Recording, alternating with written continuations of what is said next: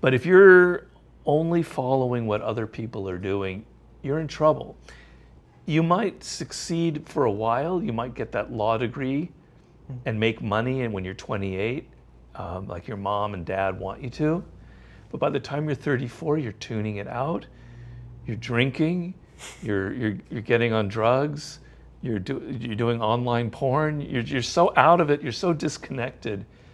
You you fall into various addictions, and it may not be something that destructive, but you're not.